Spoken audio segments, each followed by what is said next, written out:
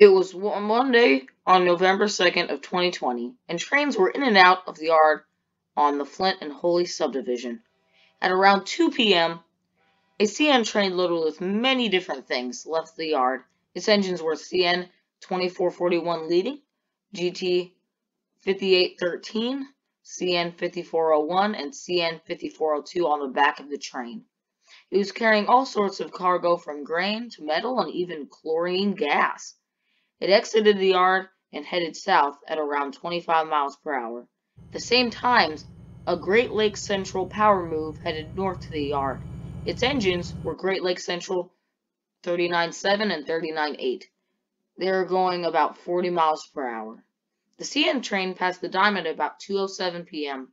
It should have gone into the siding to let the other train pass, but the switch was not set correctly, and the train sped past the switch and kept going. The engineers on board didn't even notice that they were going straight into the other train until the last second. They slammed on the emergency brakes, and so did the other train. The crew of both trains bailed, and then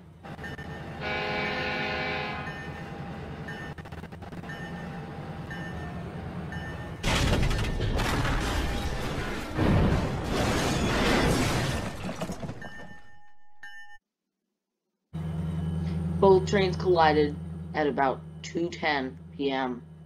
The CN train was going about 20 miles per hour, and the GLC train was going about 25 miles per hour. Surprisingly, 36 cars on the CN train derailed, but only the GT locomotive derailed. It cost around $300,000 to re-rail and fix the train. All engines were put back into service and run to this day. No one was hurt except for one of the crew that when bailing out cut his leg on some rocks.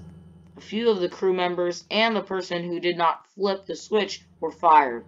Overall, this was not that bad of a wreck, and hopefully there won't be another wreck worse than this in the future.